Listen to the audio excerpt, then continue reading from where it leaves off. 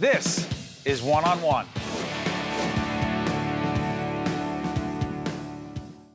You are looking at the uh, beautiful, smiling, talented face of uh, Miss Faith Ringgold, artist, author, arts educator, and activist. How you doing?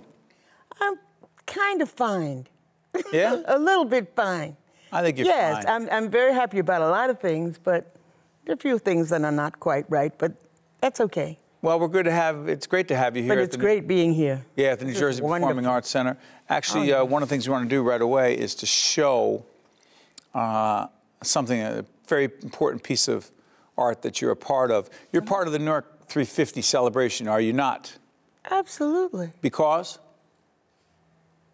I did the print for it. you did the print for it. And the print, You mean you didn't know that? I did know that. I'm trying to set you up for this, okay? Oh. And the print, um, uh, a day in Newark's 350th year celebration. We're going to actually put up the print and uh, talk about the print. It is a silkscreen print, right? It, um, yes, I guess it's a silkscreen print, yes. It is, um, The significance my of my my what my feelings about newark new jersey and they go way back to when i was a kid and used to come here because my uncle lived in new jersey and we used to walk over the george washington bridge from harlem Where you're raised in Harlem? Yes. And we would come over here to his house. And so I have long feelings and memories of Newark. And so when I was faced with the idea of creating a print for the celebration of 350. I didn't know it was 350 years. That, that's a lot. I didn't know Newark was that old. I wanted to bring into it, you know, my feelings about Newark that I could share with, you know, other people. So I, I, I really want to say thanks to all the people at NJ PAC for asking me. If, let me ask you, you were coming from Harlem to Newark. Describe the Newark that you remember back in the day. It was very small, of course, with little houses, uh, what, two story houses, and um, everybody very, very sweet and very homey, and, uh, you know, with their little gardens and everything. It was, it was just a really, coming from New York City,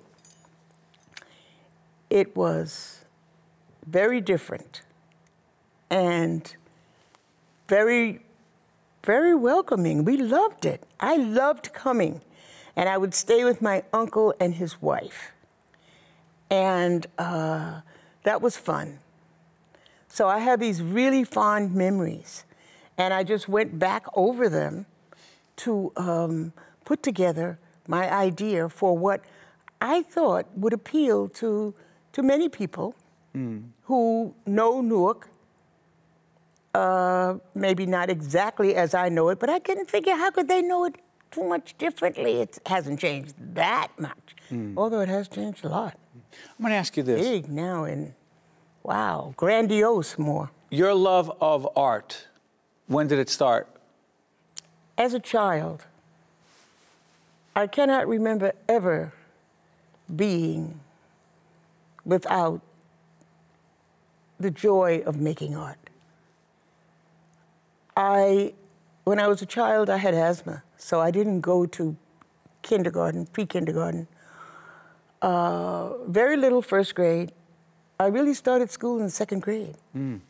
And my mother used to go to school and get my homework and get my work, get my books, get my everything. And I was more or less homeschooled until about the second grade, except that I had my art. And um, my father bought me my easel, my first easel, my father brought me. And I was always able to create art. Connect your art with your activism. In order to be an artist, it was absolutely imperative that I get involved in activism, both as a woman and as a black person, because both fields are pretty much closed to both people. And so I had to get out there and find a way to get myself in there and, um, and do the work too. And so I did. And so I did, I did. I did the work, I did the activism. I did it all. Thank God I did. How far have we come? And have we come even close to far enough? Well, I, you know, I think I'll let you answer that. I don't know. I, I'm I asking, think, I, you, you know things I don't know. well, I know things you don't. I know things you don't know, but there's a lot to know. And uh, you know, I don't want to be a bragger. You're not a bragger. You're just telling me. I'm just asking you. In the time we have left, in terms of race, Oh, as far as race is concerned. That's what I mean. Well, I. I should have made that clear. I apologize. No, you didn't. Um, I think things are improving somewhat, but we have a long way to go, both as a woman and as a black person in the art world, visual art, not the music, the dance, the theater, none of that. They're coming along more too, but they've always been ahead of the visual arts. Um, yeah, I think we're, we're improving, but we've got a long way to go. Faith Ringgold, artist, author, arts educator, and activist. Thank you for joining us on public television. We appreciate it. Okay. Very Wish you the best. Thank you. From NJ PAC, I'm Steve Adubato. The preceding program has been a production of the Caucus Educational Corporation and the New Jersey Performing Arts Center in association with NJTV and WNET.